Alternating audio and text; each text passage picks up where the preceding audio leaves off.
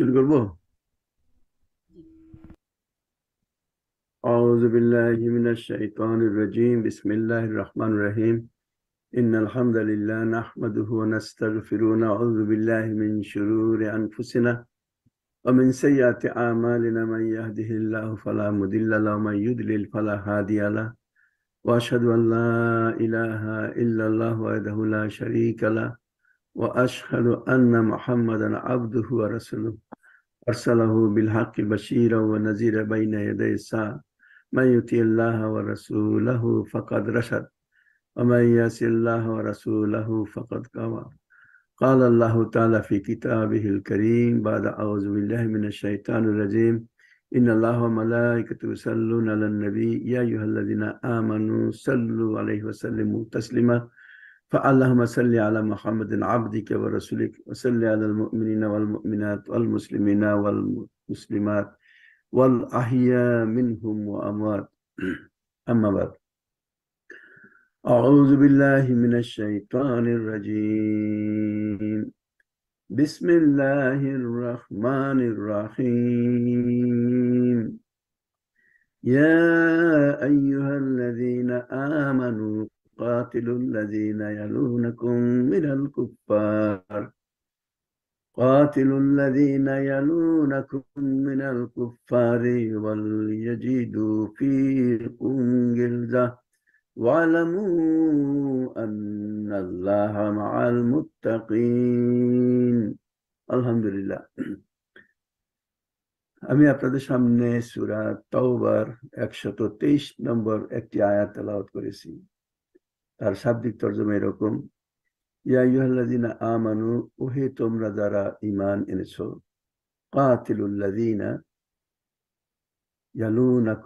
কুফফার, তোমাদের নিকটবর্তী আশেপাশের কাফেরদের সাথে তোমরা যুদ্ধ করো। ওয়াল ইয়াজিদু ফিকুম গিলজা এবং তাদের ব্যাপারে কঠোরতা অবলম্বন করো। ওয়ালামু, জেনে রাখো, আন্নাল্লাহ মা আল নিশ্চয়ই আল্লাহ মুত্তাকিদের সাথেই আছেন। প্রিয় সাথীরা, আমি একটা আয়াতই তেলাওয়াত করেছি। এই একটা আয়াত যে বিষয় সম্পর্কে আমাদেরকে বলছে, খুব কেয়ারফুলি এবং চিন্তা ভাবনা না করে যদি আমরা শুনি, তাহলে এর যে গুরু রহস্য, এটা আমরা অনেকে বুঝব না। রাবুল আলমিন এই আয়াতের মাধ্যমে মুমিনদেরকে যা নির্দেশ দিয়েছেন তার অর্থ এই যে প্রথমে তারা যে যেখানে আছে, তার আশেপাশে কাফেরদের সাথে যুদ্ধ করবে। এটা তাদের দায়িত্ব, নিকটবর্তী লোকদের সাথে যুদ্ধ করা। কিতাল শব্দ আল্লাহ ব্যবহার করেছেন, সশস্ত্র যুদ্ধ। এখানে প্রশ্ন আসতে পারে, তার মানে কাফের থাকলেই তার বিরুদ্ধে যুদ্ধ করতে হবে? ব্যাপারটা এরকম না। কারণ এই দুনিয়ার বুকে কাফেরদেরও জীবিত থাকার, বেঁচে থাকার, সংগ্রাম করে টিকে থাকার অধিকার এই দুনিয়ার বুকে কাফেরদের আছে। কিন্তু কাফেরদের যে জিনিসটা নাই, সেটা হইল যে আল্লাহর এই সৃষ্টি অন্য জীবকে ভুল পথে পরিচালিত করার অধিকার তাদের নাই। আল্লাহ কোরআনে বলছেন, কুতিবা আলাইকুমুল কিতালু ওয়াহুয়া করহুল্লাকুম আমি তোমাদের জন্য কিতাল সশস্ত্র সংগ্রামকে ফরজ করে দিয়েছি। ওহুয়া কুরহুল্লাকুম যদিও এটা তোমাদের জন্য অপছন্দনীয়। ওয়াসা আন তাকরাহু শাইআন।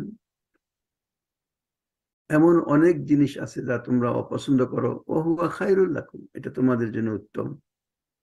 ওয়াসা আন তুহিব্বু শাইআন, এমন অনেক জিনিস আছে যা তোমরা নিজেদের জন্য ভালোবাসো। সেটা তোমাদের জন্য খারাপ। ওয়াল্লাহু আলামু ওয়া আনতুম লা নিশ্চয়ই আল্লাহ জানেন, কিন্তু তোমরা জানো না। যেমন আমি বলছি যে কাফেরদের এই দুনিয়ার বুকে থাকার পূর্ণ অধিকার আছে, বিচার আল্লাহ আখেরাতেই করবেন। কিন্তু তাদের ভুল চিন্তাধারা, মানুষকে বিপদগামী করা, এটা আসলে যাদেরকে বিপদগামী করে, তাদের জন্য এটা সবচেয়ে বড় সবচেয়ে বড় ক্ষতিকর। এই জন্য আল্লাহ কোরআনে বলছেন ওকাতির হুম হাত্তা লা তাকুনা ফিতনা ওয়াকুন উদ্দিনহু লিল্লাহ। তোমরা যুদ্ধ করো। হাত্তালা তাকুনা ফিতনা। যতক্ষণ ফিতনা নির্মূল না হয়ে যায় ওয়াকুন উদ্দিনহু লিল্লাহ এর পরের সুরায় আনফালে বলছেন, ওয়াকুন উদ্দিনহু কুল্লুহু যতক্ষণ না জীবন পদ্ধতি সম্পূর্ণ আল্লাহর অধীন না হয়ে যায়। তার আগ পর্যন্ত আমাদেরকে আল্লাহ রাবুল আলমী সংগ্রাম করতে বলছেন এবং তিনি বলছেন কোরআনেরই ভাষায় ওয়াল ফিতনা তু আকবর মিনাল কাতাল। ফিতনা কাউকে হত্যা করার চেয়েও বেশি মারাত্মক, ক্ষতিকর। বা আরেক জায়গায় বলছেন, ওয়াল ফিতনা তু আসাদ্দু মিনাল কাতাল। কাউকে কতল করে দেওয়ার চেয়ে তাকে ফিতনায় নিক্ষেপ করা আরও বেশি তার জন্য ক্ষতিকর। তাহলে এই যে ফিতনা, এই ফিতনাটা হইল, খুব সহজে মনে করবেন, কোনো এক ব্যক্তিকে সত্য সঠিক দিন, পথ থেকে বিভ্রান্ত করে, ভুল পথে নিয়ে যাওয়া, সেটা তাকে হত্যা করার চেয়ে বেশি খারাপ। তার কারণ দুনিয়ার বুকে যদি সেই ব্যক্তি আরও তিরিশ, চল্লিশ, পঞ্চাশ, ষাট, সত্তর বছর বেঁচে থাকে, দুনিয়ার আলো বাতাস, দুনিয়ার আনন্দ ফুক্তি দুনিয়ার ভোগ সামগ্রী সে ব্যবহার করতে পারবে।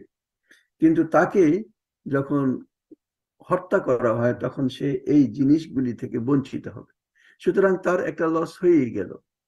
কিন্তু তার এই লস ওই লসের তুলনায়, অর্থাৎ যদি কোনো ব্যক্তিকে ভুল পথে পরিচালিত করে এবং তার কারণে যদি সে আখেরাত হারিয়ে ফেলে, জান্নাতকে হারিয়ে ফেলে, জাহান্নামে নিক্ষিপ্ত হয়, তাইলে সেখানে এনলেস কোটি কোটি কোটি কোটি বছর তাকে জাহান্নামের আগুনে নিক্ষিপ্ত হইতে হবে।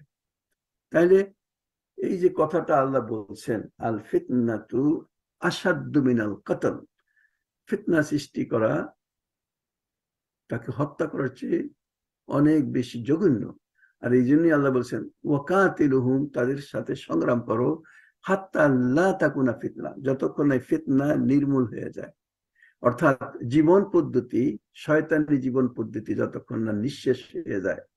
ভুল পথের যেই পথে মানুষকে পরিচালিত করে, তার একটা মানে এন্ডিং হয়ে যায়। হাত্তা আল্লাহ তাকুনা ফিতনা কোন উদ্দিন এবং জীবন পদ্ধতি সম্পূর্ণরূপে আল্লাহর অধীন হয়ে যায়।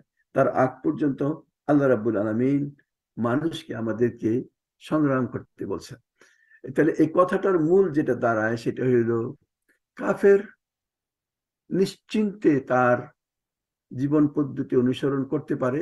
সে নিজে জাহার নামে যেতে চায়, একশো পার্সেন্ট যাওয়ার তার রাইট আছে এবং সে যাবে এতে কোনো সন্দেহ নেই। কিন্তু মানুষকে সে বাই ফোর্স যদি সেই দিকে নিয়ে যায়, তাহলে অন্য মানুষের মানুষের উপর মানুষের যে অধিকার সৃষ্টির, কল্যাণ করার জন্যই আল্লাহ আমাদেরকে আর দিন নাসিহা, দিন হলো মানুষকে,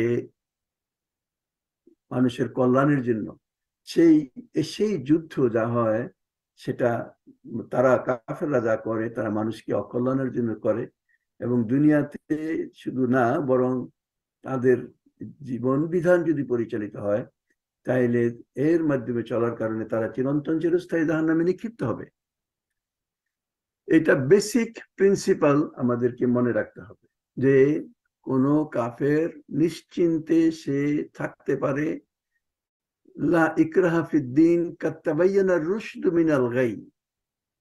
আল্লাহ দিনের ভিতরে কোনো জোর জবরদস্তি রাখেন নাই। কোনো কাউকে ফোর্স করে মুসলমান বানাইতে হবে না। লাইক রাফিদ্দিন মানে সে থাকতে পারে, কোনো কথা নাই।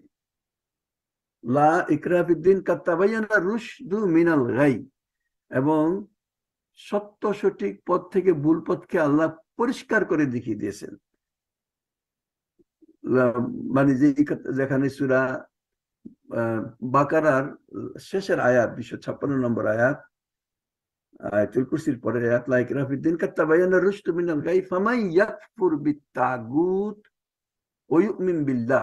যে এই তাগুতকে অস্বীকার করে এবং আল্লাহর উপর বিশ্বাস রাখে।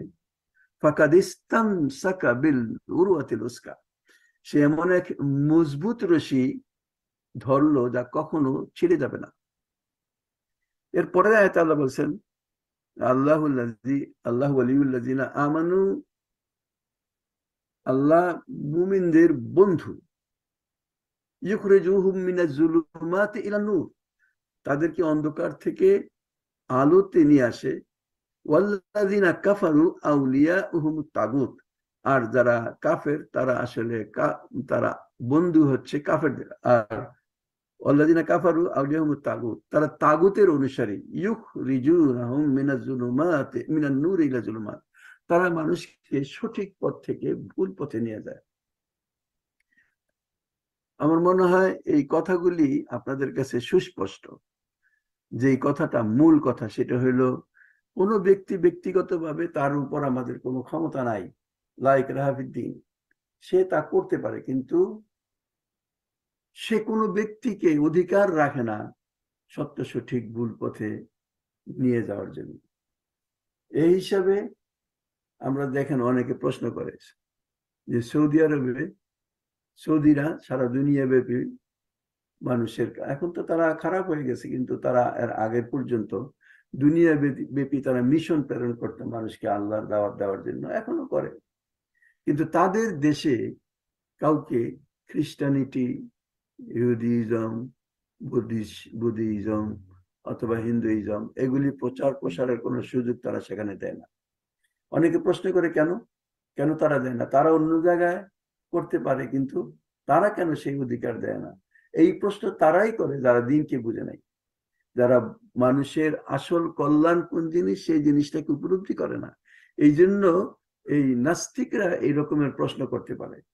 কারণ আমি যে কথাটা বললাম সঠিকভাবে চিন্তা ভাবনা করতে গেলে একটা ভুল পথে মানুষকে পরিচালিত করবে আর সেই সুযোগ আমি করে দিব, এটা তো হইতে পারে না। এটা তো সেই ব্যক্তির জন্য মানে অকল্যাণকর।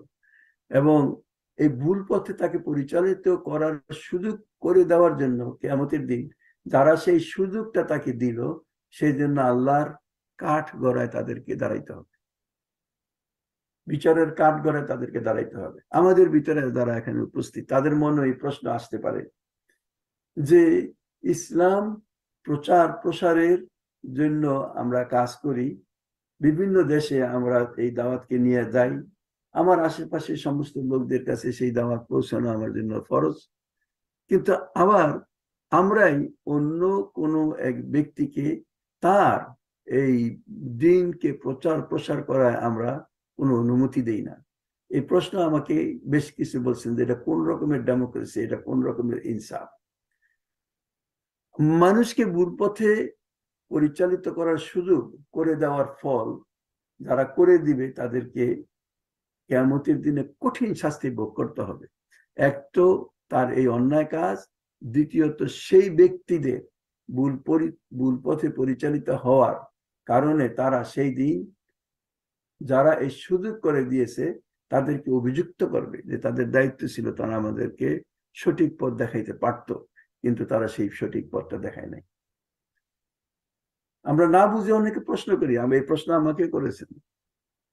যে কীভাবে, কি বে ইনসাফি যে আপনারা মানুষকে আপনাদের পথে ডাকবেন? আমরা আমাদের পথে ডাকি না। আমরা মানুষকে আল্লাহর পথে ডাকি। আল্লাহ কোরআনে বলছেন ওদু ইলা সাবিল রাব্বিক। এই কথা বলে নাই ওদু ইলা সাবিলাক। তোমার পথে তুমি তাদেরকে ডাকো। এই কথা আল্লাহ বলে নাই। ইভেন এইটাও বলে নাই ওদু ইলা সাবিল সাবিল মোহাম্মদ। মোহাম্মদের পথে ডাকো, এই কথা বলে নাই। আল্লাহ মানুষকে যিনি সৃষ্টি করেছেন, আল্লাহ আল্লাহুল খালকল আমর, যিনি সৃষ্টি করেছেন, তার পথে ডাকতে বলছেন। এই জন্য আপনারা দাওয়াতি কাজ করবেন। সেই দাওয়াতি কাজে কখনোই কোনো বিশেষ গোষ্ঠী, কোনো পার্টি, কোনো দলের দিকে, কোনো ব্যক্তির পক্ষে কখনো ডাকবেন না। ডাকবেন না। আপনি এটা বলতে পারেন যে এই গ্রুপের লোকজন মানুষকে আল্লাহর দিকে ডাকে। তুমি যদি সেই গ্রুপের সাথে সংযুক্ত হও, তাহলে তোমার জন্য এই কাজটা করা সহজ, কারণ তুমি একা করতে পারো না। এটা ঠিক। কিন্তু কখনো ওই দলের দিকে, ওই ওই জামাতের দিকে, ওই গ্রুপের দিকে আপনি কখনো ডাকবেন না। আপনি ডাকবেন, যেটা আল্লাহ বলছেন, অদু ইলা সাবি রাব্বিক তোমার রবের রাস্তার দিকে ডাকো। অর্থাৎ আল্লাহর পথে ডাকো। ডাক আল্লাহর পথে।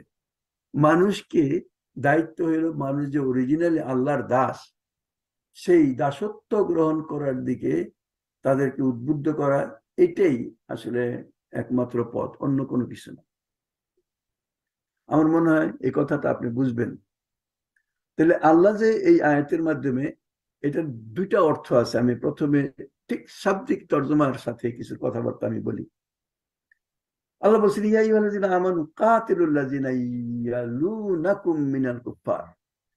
হে মুমিনগণ, এই কাফেরদের সাথে যুদ্ধ করো যারা তোমাদের আশেপাশে অবস্থান করে। সারা দুনিয়ার মানুষকে এই পথে আনার দায় দায়িত্ব আল্লাহ রাব্বুল আলামিন আমাকে আপনাকে দেন দিনের একটা সিস্টেম আছে। আল্লাহ বলছেন, কু আনফুসাকুম ওয়াহলিকুম নারা নিজেকে এবং পরিবার পরিজনকে জাহান্নামের আগুন থেকে রক্ষা করো। এই জন্য আপনারা যখন দিনের কাজ করবেন, অর্থাৎ মানুষকে আল্লাহর দিকে ডাকবেন, প্রথম নিজে তো ঠিক হবেন, হওয়ার সাথে সাথে যে আপনার সবচেয়ে নিকটে আপনার সবচেয়ে নিকটে কে? একদিকে যদি আপনি বিবাহিত হন, আপনার স্ত্রী, আপনার সন্তান সন্ততি। আর যদি আপনি এখনও সেই পর্যায়ে না যায় থাকেন, তাহলে আপনার সবচেয়ে নিকটবর্তী আপনার ভাই বোন আপনার পিতামাতা। প্রথম আমার যে দায়িত্ব আসে, আমার পিতামাতা, আমার ভাই বোন তারা যদি কোনো ভুল পথে থাকে, তাহলে তাদের পথকে সংশোধন করার দায় দায়িত্ব আমার উপর পড়ে। বা আমার সন্তান সন্ততি যদি থাকে স্ত্রী যদি থাকে, তাদেরকে সঠিক পথে আনার এক নম্বরের দায়িত্ব আমার। সেকেন্ড তার পরের স্টেজে যারা যায়, যে অবস্থায় থাকে আপনার আশেপাশে, আপনার চাচা, মামা, খালা, তারপরে আসে আপনার কাজিনরা যারা আপনার আশেপাশে আছে, তাদের। তাদের পরে আপনার আসে সেকেন্ড কাজিন তারপরে আসে আপনার প্রতিবেশী যারা আপনার আশেপাশে আসে। তারপরেও যদি আপনি আরও রাখতে পারেন তাহলে আপনার যে এলাকা, আপনার যে মানে গ্রাম বা বলতে পারেন আপনার যে পাড়া, সেই পাড়ার লোকজনদেরকে আপনি দিনের পথে রাখবেন এরপর যদি আপনি আরও এই পথে ডাকতে চান, আপনি একা পারবেন না। আপনি অর্গানাইজড হবেন। অর্গানাইজড হওয়ার পর সবাইকে সম্মিলিতভাবে একটা মানে কোঅর্ডিনেশনের মাধ্যমে আপনার এলাকায় আপনি দিনের দাওয়াত দিবেন। এটা যদি সফল হয়ে যায় তাহলে আপনি, আপনার রিজিয়ন আপনার বড় এলাকায় আপনি দাওয়াত দিবেন। তারপরেও যদি সেখানেও দিন ইসলাম প্রতিষ্ঠিত হয়ে যায়, তাইলে আপনি আপনার দেশে, পুরা দেশেই আপনি মানুষকে দিনের পথে ডাকবেন। এবং আপনার পুরা দেশ যদি ইসলামাইজড হয়ে যায় তাহলে তাদের অন্যান্য দেশে এই দাওয়াত পৌঁছানোর দায়িত্ব তারা পালন করবে। আপনি ব্যক্তিগতভাবে করবেন সেটা না, বরং এটা তাদের দায়িত্ব। আল্লাহ রসুল সাল্লাম ঠিক একজাক্টলি সেই কাজগুলি করেছেন। যেমন এই আয়তে বলছেন তারা যেন প্রথমে ওই জায়গার কাফেরদের সাথে যুদ্ধ করে, যা ইসলামের কেন্দ্রস্থলের অতি নিকটবর্তী। আমরা আমরা দেখি পার্সন, আল্লাহ রসুল সাল্লাহাম এই জন্য সর্বপ্রথম আরব উপদ্বীপের মুশ্রিকদের সাথে যুদ্ধ করেছেন। এবং তারপর তিনি Mecca, Medina, Taif, Yemen, Yamama, Khaybar Hadramaut প্রভৃতি জায়গায় তিনি অমুসলিমদের সাথে যুদ্ধ করেছেন। অর্থাৎ এই কথার অনুসারে প্রথমে হাজরামাউদ মানে তিনি আরব উপদ্বীপের আরব এলাকার পেনেন্সুলার বিভিন্ন অঞ্চল তিনি জয় করেন এবং এর যারা ইনহেবিটেন্ট বা অধিবাসী, তাদেরকে তিনি প্রথমে মুসলিম বানিয়ে নেন। ইভেন তার আগেও যদি যান, আপনি দেখেন যে আল্লাহ রসুল সাল্লাহাম এই দাওয়াত পাওয়ার পর প্রথমে খাদিজা রাজি আনহা, তাকে তিনি দাওয়াত দিলেন, তিনি ইসলাম গ্রহণ করলেন।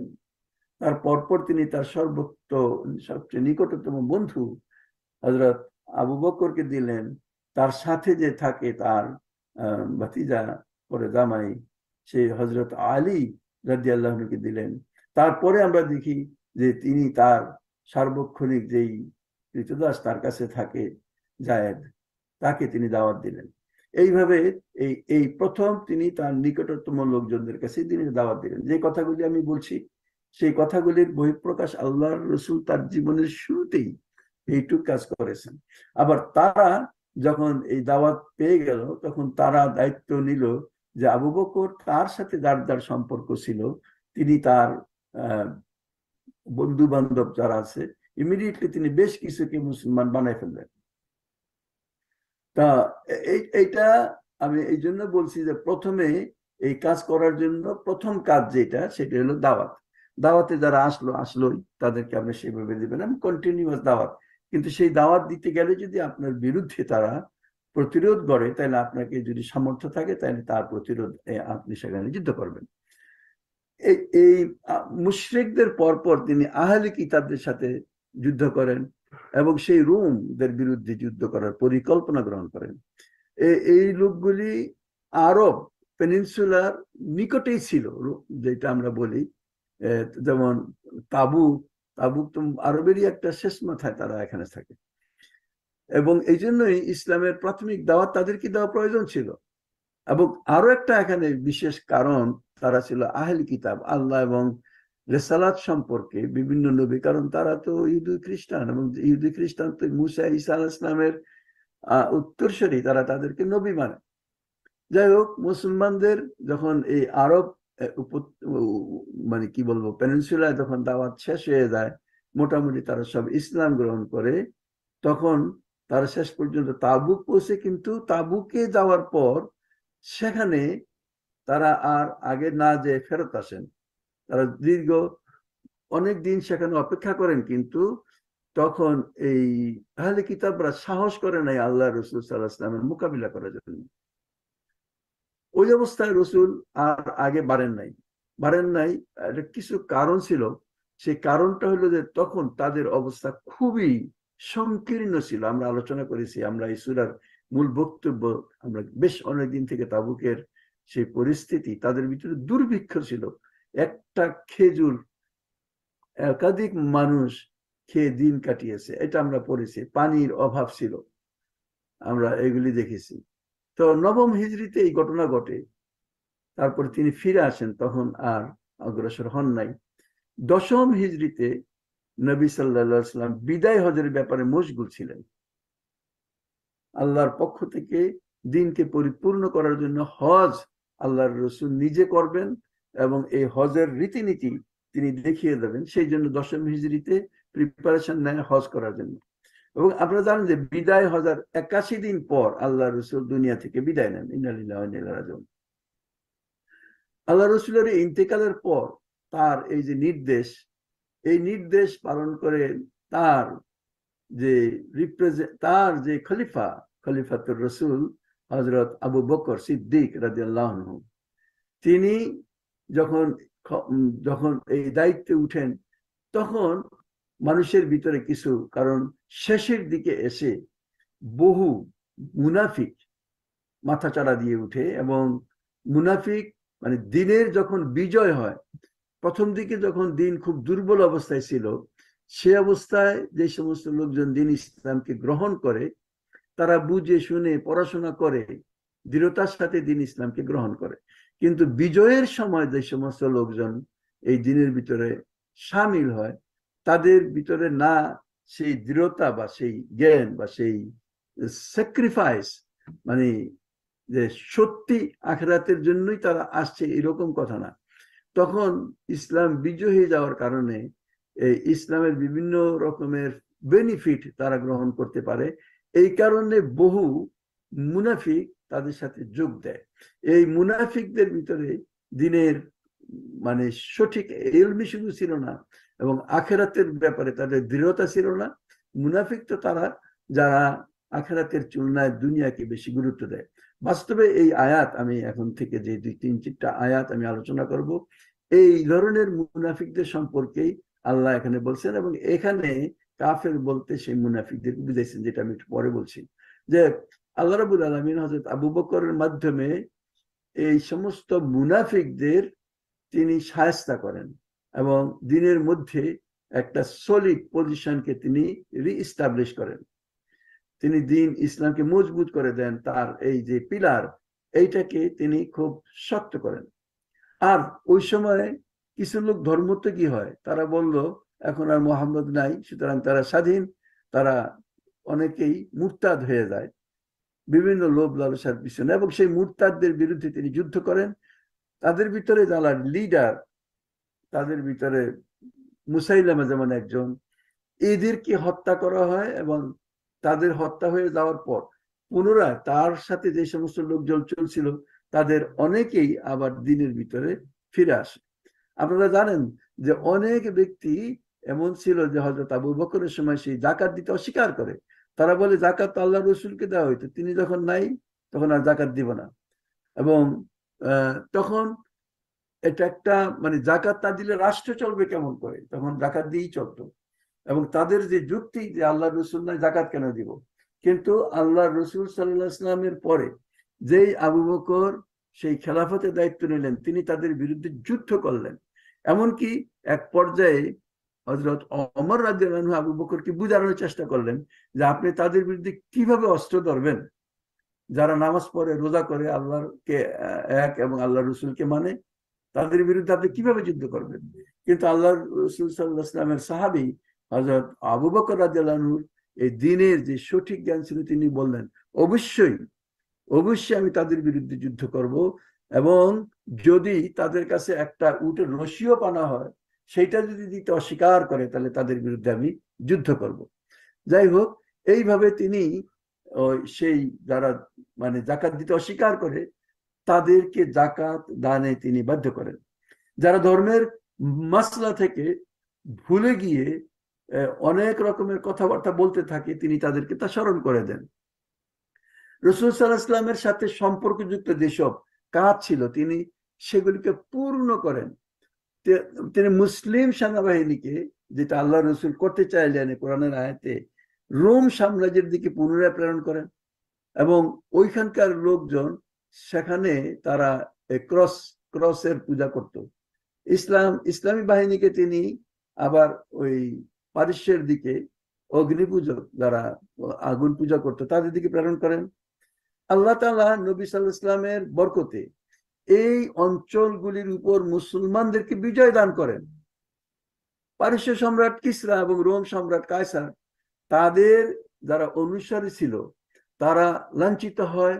অপমানিত হয় এবং এই দুই সম্রাটের যে ট্রেজারি ছিল, যে ধন সম্পদ ছিল, সেগুলি মুসলমানদের হস্তগত হয় এবং আল্লাহর পথে সেগুলি কি খরচ করা হয়।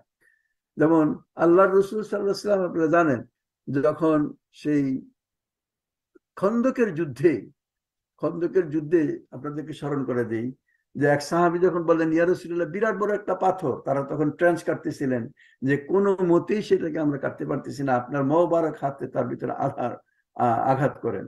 এবং সেখানে তিনি এক একটা তিনটা দিয়েছেন প্রথম যখন তিনি আঘাত করেন, তিনি বললেন আরব উপত্যকার সমস্ত মানুষকে একদিন আল্লাহ বিজয় দান করবেন। এই ইসলাম সেখানে পৌঁছবে। দ্বিতীয়বার যখন তিনি আবার আঘাত করেন, তখন তিনি বললেন যে আমার এই দাওয়াত রোম পর্যন্ত পৌঁছবে। তৃতীয়বার যখন দেন, তখন তিনি বললেন, পারস্য পর্যন্ত পড়বে কিন্তু এই যে ভবিষ্যৎবাণী তিনি করেন, এই ভবিষ্যৎবাণী সম্পর্কে মানুষ অবাক হয়ে যায়।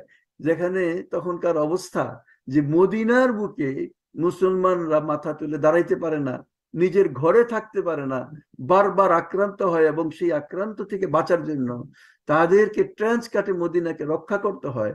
তিনি বলছেন যে সেই রোম সাম্রাজ্য, সেই পারস্য সাম্রাজ্য, সেই সমস্ত ভারত মানে আরব পরিনসুলা মুসলমানদের হস্তগত হবে, তারা সেগুলি শাসন করবে, তাদের সমস্ত ধন সম্পদ মুসলমানদের করাগত হবে। এটা অবিশ্বাস্য ব্যাপার। কিন্তু যাদের বিশ্বাস ছিল যে আল্লাহর রসুল আমায়ান্তেকু আনিল হাওয়া ইনহুয়া ইল্লা ওয়াহসিন ইউহা তিনি নিজের ইচ্ছায় কোনো কথা বলেন না। যা বলেন তিনি আল্লাহর ইচ্ছায় বলেন। এই কথা যখন তিনি বললেন, মনে করতেন, তারা তখনও আবু বকর সিদ্দিক মতো সেই লোকগুলি এই কথাকে হান্ড্রেড পার্সেন্ট মনে করেছেন এবং তারা যে প্রিডিকশন আল্লাহ রসুল করেছেন, সেটাকে সত্য বলেছেন, কারণ তিনি আল্লাহ রসুল। এবং এখন এসে সেই জিনিসগুলি হজরত আবু বকর এবং হজরত অমরের সময় এই জিনিসগুলি তিনি তারা নিজেদের চোখেই সেটাকে দেখেন। আল্লাহ রসুল হজরত আবু বকর হজরত আল্লাহ রসুলের সাহাবি হজরত আবু বকর এই ভবিষ্যৎবাণীকে পূর্ণ করেন এবং তারপর আবু বকর রসুল, আবু বকর রাজালানহুর স্থলাভিষিক্ত হইলেন খৈফা হইলেন হজরত ওমর রাজালানহু হজরত ওমর রাজ্যের মাধ্যমে তিনি এই বিপদগামী কাফেরদেরকে খুবই লাঞ্ছিত করেন এবং যারা বিদ্রোহ করে এই মুনাফিকদেরকে পূর্ণরূপে তারা দমন করেন। পূর্ব পশ্চিমের সমস্ত যে ছোট বড় সাম্রাজ্য ছিল তার উপর ওমর বিজয় লাভ করেন এবং নিকটের দূরের সমস্ত এই রাজ্যের যে ধন সম্পদ, এগুলি সব যুদ্ধের পর ইসলামের কেন্দ্রস্থলে নিয়ে আসা হয় এবং এর মাধ্যমে শরীয়তের বিধান অনুযায়ী যার যেটা পাওনা সেটা তাকে দেওয়া হয়। ওমর রাদিয়াল্লাহু জীবিত থাকলেন, সবাই তার প্রশংসাই করত, তিনি এমন এক মানে সাহসী ব্যক্তিত্ব ছিল যে আমরা তার সম্পর্কে অনেক কথাই জানি। হজরত ওমর রাদিয়াল্লাহুর পর, উসমান রাদিয়াল্লাহু তিনি খলিফা হইলেন। ওসমান রাদিয়াল্লাহুর যুগে ইসলামের যে বিজয় এমন ভাবে বৃদ্ধি পায় এমন ভাবে সুনামর্জিত হয় যা কল্পনা করা যায় না।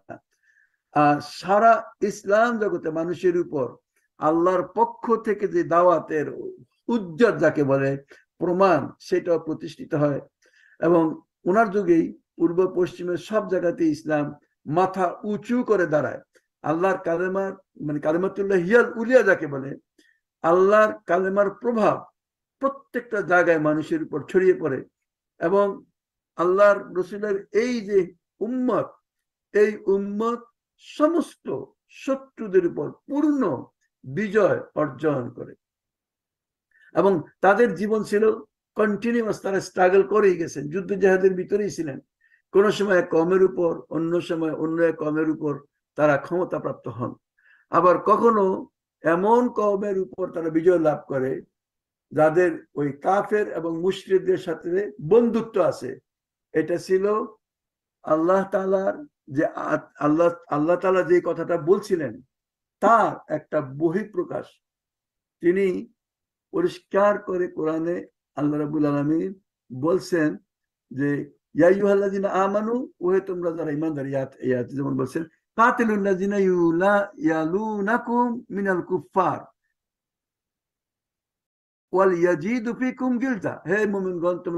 সাথে যুদ্ধ করো, তোমাদের যারা নিকটবর্তী এবং তাদের মধ্যে তোমরা কঠোরতা অবলম্বন করো। কেননা, পূর্ণ মুমিন ওই ব্যক্তি যার আচরণ মুমিনের পরিচয় হলো মুমিনের আচরণ নিজেদের মধ্যে খুবই কোমল এবং কাফেরদের উপর অত্যন্ত কঠিন, খুবই কঠিন। আমরা সুরা মায়দায় আমরা দেখি, আল্লাহ রাবুল আলমিন বলছেন ইয়াইহাল্লাদিনা আমানু, ওহে তোমরা যারা ইমানদার মিনকুম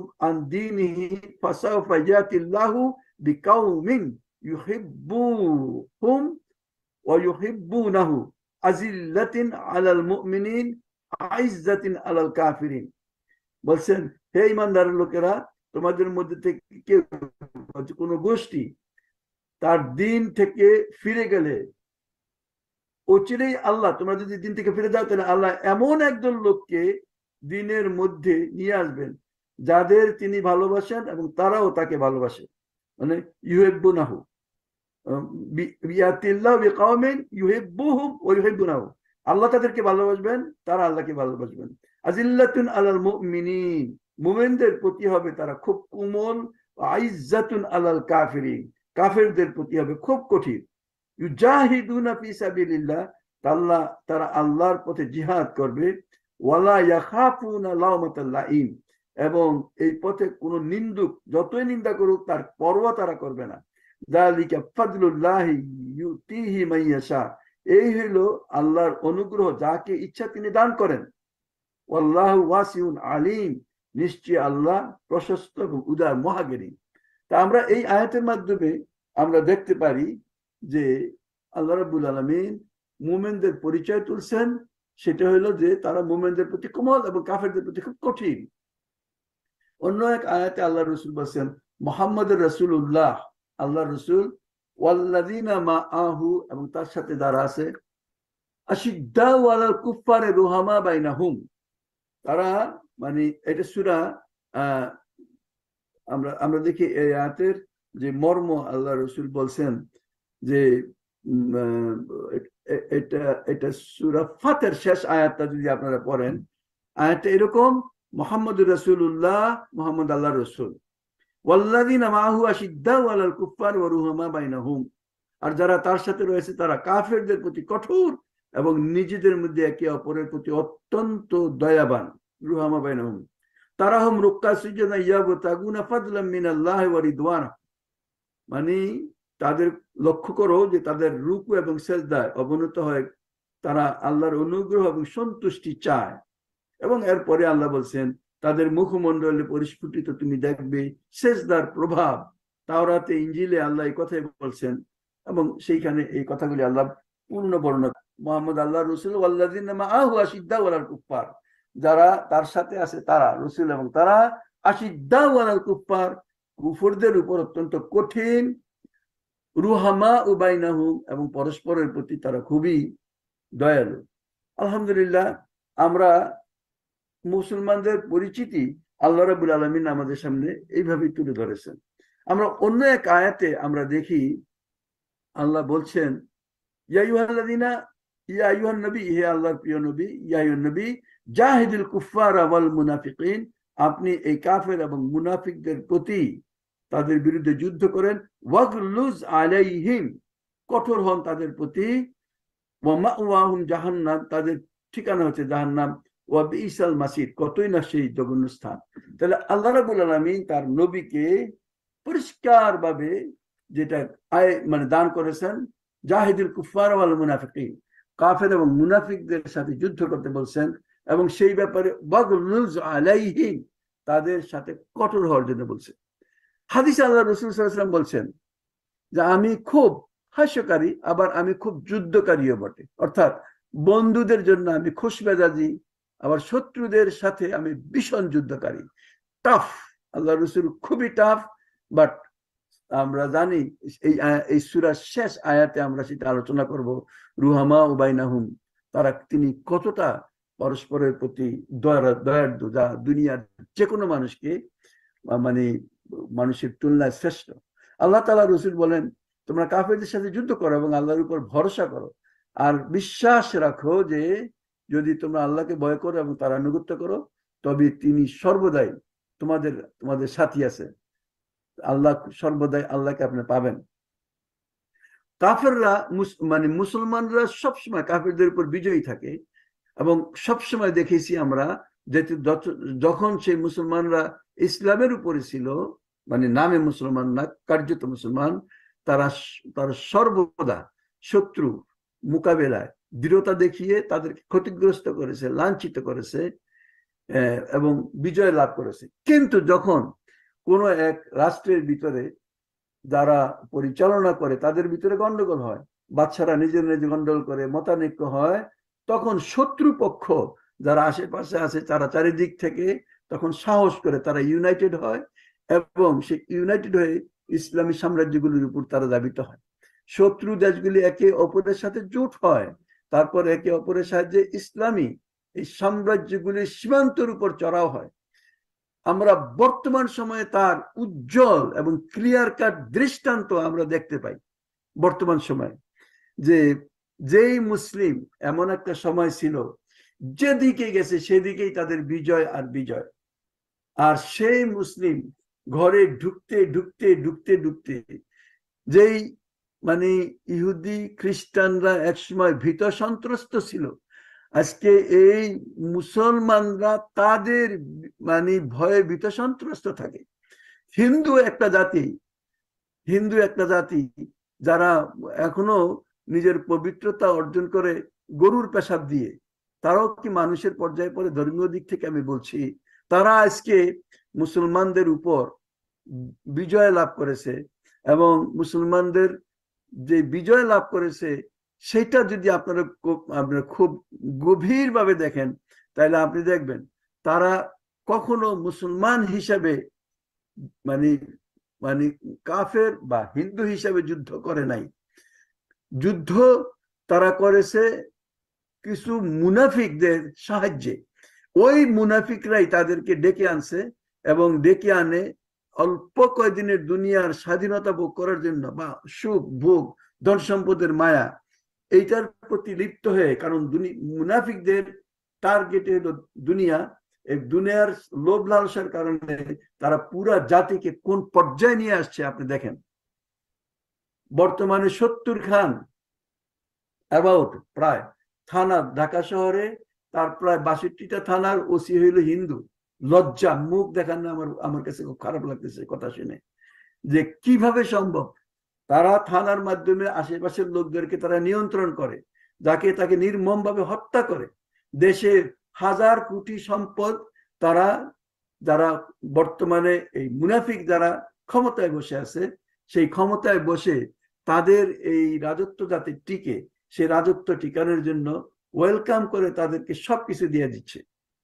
মির্জাফর যখন যুদ্ধ করে মির্জাফর একজন মুনাফিক। সেই মুনাফিক স্বপ্ন দেখে দুনিয়ার যে আমি নওয়াব হব। সেই দুনিয়ার স্বপ্ন নওয়াব হওয়ার স্বপ্ন, সে সেই খ্রিস্টান যারা এই দেশে ব্যবসা করতে আসছিল, তাদের ট্রিক্সের ভিতরে পড়ে যায়। সে তাদেরকে লোভ দেখায় যে যুদ্ধের ময়দানে সে কমান্ডার ইন চিফ ছিল। মানে তার সেই পরিচালনা যুদ্ধে হারানোর মানে যে কারণ, তার মূল কারণ এই মুনাফিক, তার দুনিয়ার স্বপ্ন, সেই নোয়াব হওয়ার স্বপ্ন, একটা জাতিকে একশত নব্বই বছর গোলামিতে রাখে। সে বিশ, বেঁচেই থাকতো, বেঁচে থাকতে পারে নাই সে। নির্মম ভাবে সে নিহত হয়েছে। তার মৃত্যু খুব কঠিন, কয়টা দিনও থাকতে পারে নাই। কিন্তু তার যে লোভ, তার যে মানে মানে আশা, সেই আশা এবং বাকি জাতি কেন শাস্তি পাইল? সেই জাতি এই জন্য শাস্তি পাইল যে তারা তাদের দায়িত্ব পালন করে নাই। এবং লর্ড ক্লাইভ এবং তারা যেই বলছে, তারা বলছে যে সিরাজদুল্লার যখন পতন হয়, যখন সেই সিরাজদুল্লাহকে নিয়ে যাওয়া হয় যদি ওই সময় প্রত্যেকে থুতু বেলতো তাইলে মানে পলাশির মাঠে যদি সব মুসলমানরা থুতু দিত তাহলে তারা ডুবে দিত। এত পরিমাণ মুসলমান কিন্তু সেই পলাশির মাঠে সেই তার এই ইয়ের কারণে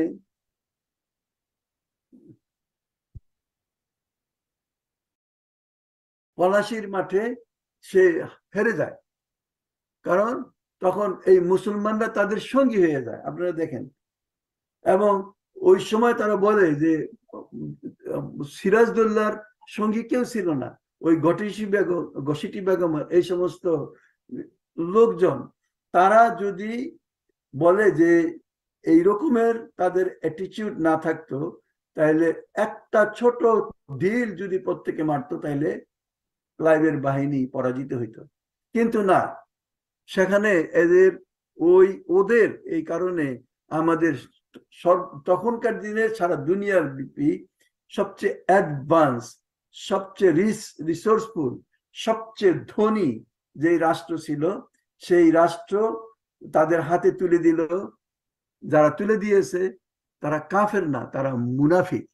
এই জন্যই আপনারা দেখেন যে এই পুরা সুরার ভিতরে মুনাফিকদের কঠোর শাস্তি সম্পর্কে বলা হয়েছে। যতটা কঠোর শাস্তি কাফেরদের সম্পর্কে বলা হয়নি। যতটা আল্লাহ বলছেন।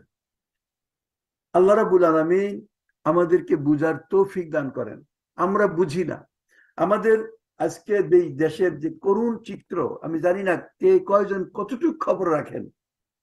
কয়েকটা ফ্লাইওভার বানানো দেশের উন্নতি না। এই দেশের সমস্ত সম্পদ এর মাধ্যমে ভারত এখন আপনি বলতে পারেন যে ধনী হচ্ছে। আর কিছু লোক দুনিয়াব্যাপী তাদের অট্টালিকা গড়ে তুলতেছে এই দেশের সম্পদ। এবং যাদের মাধ্যমে এই টাকা পাচার হচ্ছে, তারা কেউ কাফের না। প্রায় কেউ প্রায় কেউ কাফের না, প্রায় সবেই তাদের মুসলমানদেরই একটা অংশ। কিন্তু তাদের পরিচয় যে তারা হইল মুনাফিক। এই মুনাফিকদেরকে কাছে কাছে নিয়েই শেষ পর্যন্ত সেই অবস্থার তারা সৃষ্টি করেছে যে আমাদের দেশের স্বাধীনতা বিক্রয় হয়ে গেছে। একটা কথা বলার অধিকার কারও নাই। একটা যেই স্বাধীনতার জন্য একসময় যুদ্ধ করার ঘোষণা যে আমরা কথা বলতে চাই, সেই সময় তো তারা স্লোগান দিতে পারতো, মিছিল করতে পারতো, কথা বলতে পারতো ইলেকশন করতে পারতো। আর এই মুনাফিকদের কথায় তারা বিভ্রান্ত হয়ে মানে যেহেতু নিজেদের ইমান ছিল না, কোরআন ছিল না, শিক্ষা ছিল না, এবং এখনও তাদের ভিতরে সেই শিক্ষাটা নাই। এখনও সত্যকে সত্য হিসাবে তারা চিনতে পারে নাই। এখনও তাদেরকেই বন্ধুত্ব মনে করে। সেই বন্ধুত্ব তাদেরকে শেষ পর্যন্ত কোন পর্যায়ে নিয়ে গেছে, সেটা এখনও অনেক মানুষ বুঝে নাই। এখনও বুঝে না তাদের স্বাধীনতা কোথায়। ভোট দিতে পারে না, এইটাও বুঝে না। কথা বলতে পারে না, এইটাও বুঝে না। আমরা দেখি যে হাজার হাজার মানুষকে অন্যায়ভাবে তাদের বিরুদ্ধে একটা কথা বললেই তাকে হত্যা করা হয়। আমরা এই সপ্তাহে যেই জিনিস দেখেছি, আপনারা দেখেছেন? আমি সেই ছেলে, যার মার কথা আমি বলছি, সেই ছেলের সাথে মুনা কনভেনশনে আমি তার ঘণ্টা কয়েক আগে আমি তার সাথে কথা বলতেছিলাম। সে তার সাথে আমার কোনো কারণে ঘনিষ্ঠ সম্পর্ক আছে, কথা আমি তার সাথে বলতেছিলাম। এবং সে সাইদি সম্পর্কে কিছু কথা লেখার কারণে যে মহিলা ষাট বছর কখনো ব্যনিকাবি হয় নাই, তার তাকে, তার মাকে মানে তার মা, তার মাকে সেই, এই ছেলে এখানে সাইদি সম্পর্কে লেখার কারণে তার মাকে অ্যারেস্ট করে, সমস্ত মানুষের সামনে নিকাব খুলে তার চিত্র, তার ভিতরে যে জঙ্গি, সে জঙ্গি। আল্লাহর আদালত যদি না থাকতো তাহলে একটা কথা ছিল, কিন্তু আল্লাহর আদালত আছে এবং আল্লাহ রাবুল আলমিন দুনিয়ার বুকে যে যত কুকর্ম, অত্যাচার, খারাপ কাজ করতে চায় আল্লাহ তা সহজ করে দেয়। ফাসানু ইয়াসিরুহু লিল ইউসরা, ফাসানু ইয়াসিরুহু লিল উসরা। যে ভালো কাজ করতে চায়, তার জন্য ভালো কাজ আল্লাহ সহজ করে দেন। আর যে খারাপ কাজ করতে চায়, তার জন্য খারাপ কাজটা করা সহজ করে দেন। আল্লাহ এদেরকে এতটাই মানে আপনাদের মনে অনেক সময় প্রশ্ন জাগতে পারে যে তারা যা ইচ্ছা তাই করে যাবে। মানে আপনার গাও এখন শিরশির করতেছে এই কথা শুনে যে এক ছেলে সাইদি সম্পর্কে বলার কারণে তার মাকে এবং তার একজন নিচতলায় তাদের দুইটা ছেলে, তারা বলতেছে, এই বুড়ো মহিলাটাকে আপনি কেন নিয়ে যাচ্ছেন? সে কি করছে? সে তো কিছু করে নাই। সাথে তাদেরকেও নিয়ে গেছে। আরেক কুকুর সেদিন ইন্টারভিউ দিচ্ছে, বলতেছে যে আমাদের কাছে রিপোর্ট আছে। তাদের কাছে কিসের রিপোর্ট আছে? এখানে জঙ্গি কর্মকাণ্ড চলে, কিসের জঙ্গি কর্মকাণ্ড চলে? তুমি যে কথাটা বলছো, তুমি কি কেয়ামতের দিনে আল্লাহর কাছে তোমার এই কথা প্রকাশ করতে পারবা, প্রমাণ করতে পারবা? তখন বলবে যে, রাব্বানা, তুমি সেদিন বলবা, রাব্বানা, আতানা সাদাতানা ওয়া কুবারা আনা আদাল্লানা সাবিরানা তুমি সেদিন বলবা, হে আল্লাহ, সে, আমি আমার রাব্বানা, হে প্রভু, আতানা, আমরা অনুসরণ করেছিলাম, সাদাতানা ও কুবারানা আমাদের সারদেরকে, আমাদের বড়দেরকে ফাতিহুম লাইফানি মিনাল আযাব। তাদেরকে আল্লাহ ডাবল শাস্তি দেন। ওয়ালানহুম লানান কাবীরা। এবং তাদেরকে আপনি অনেক বেশি লাঞ্ছিত, বঞ্চিত করেন। তুমি সেই ব্যক্তি কেমতের দিন কবা, কিন্তু তুমিও বাঁচবা না। তাদের সাথে যাদের কথায় আজকে তুমি এই কাজটা করছ, আমি আপনাদেরকে বলছি যে যাদের নির্দেশে, যাদের মন পাওয়ার জন্য প্রমোশনের স্বপ্নে, এরা একেবারে মির্জাফর।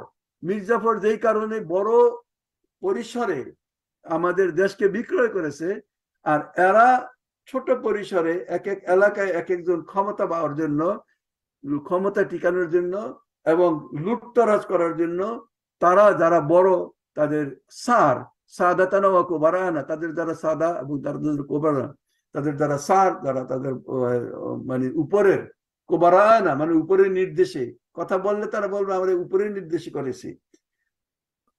ইতিহাস রিপিট হয়। কোনো নতুন কথা না। ওই সময়ও এইরকমই ছিল, তারপরেও বারবার এরকমই হয়, এখনও ঠিক এইরকমই হয়। কিন্তু আমাদের ট্রাজেডি হলো, বহু মানুষ নামাজ পড়ে, রোজা করে, কিন্তু তাদের সঙ্গী, তাদের এই কাজকে তারা অন্যায় মনে করে না। কারণ তাদের ভিতরে মনে করার জন্য যেই ইলম দরকার, শিক্ষা দরকার, জ্ঞান দরকার, তার কিছুই তাদের ভিতরে নাই। সুতরাং তাদের হৃদয়ই নাই, এটা মুসলমানের হৃদয় না। মুসলিম হৃদয়ে সবসময় আল্লাহর অস্তিত্ব জাগরণ জাগরিত থাকবে। যেই যেই হৃদয়ের ভিতরে আল্লাহর বাসা নাই, আল্লাহর অস্তিত্ব নাই, আল্লাহর স্মরণ নাই, তার সম্পর্কে আমরা কি কথা বলব? ইসলাম সম্পর্কে জানে না। হ্যাঁ তাদের ভিতরে বহু মানুষ রুকু করে, সেজদা দেয়। বাস ওইটুকি। কি রুকু দেয়? কি বলে? কি সেজদা করে?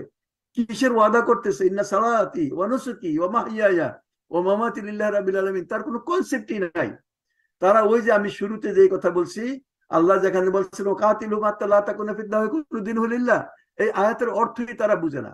যে আল্লাহ সংগ্রাম করতে বলছে, যতক্ষণ পর্যন্ত আল্লাহ ছাড়া বাকি সমস্ত ব্যবস্থাপনা নির্মূল হয়ে যায়, সেটা যাতে না হয়ে যায়, নির্মূল না হয়ে যায়, সেই জন্য মানে যুদ্ধ করতে বলছে, সেই কনসেপ্টই তাদের ভিতরে নাই। এই জন্যই ওই যে হাদিসে বলছে যে, আল্লাহ তার নবী হজরত আদম আল ইসলামকে বলছেন, হে আবুল বাসার হে মানব জাতির পিতা, তোমার সন্তানদেরকে তুমি জান্নাত এবং জাহান্নামের জন্য সেপারেট করো। তিনি জিজ্ঞাসা করলেন, ইয়া রাব্বুল আলামিন, কোন রেশিওতে? তিনি এই জন্যই তখন আল্লাহ বলছেন যে, প্রতি হাজারে নয় শত নিরানব্বই জনকে জাহান্নামের জন্য এবং একজনকে জান্নাতের জন্য। সম্মানিত উপস্থিতি, সেই একজন আমাকে, আপনাকে হওয়া লাগবে।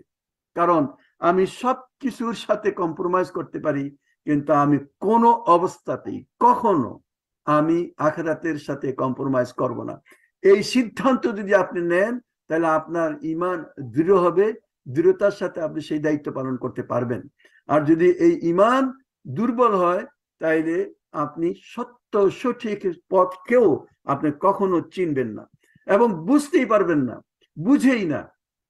এই যে ভাস্ট মেজরিটি আজকে হিন্দুদের অধীনে সব কাজ করতে, করছে এবং দেশটাকে, তার সম্পদকে, সবকিছু সেই মুনাফিকরা তাদেরকে দিয়ে দিছে।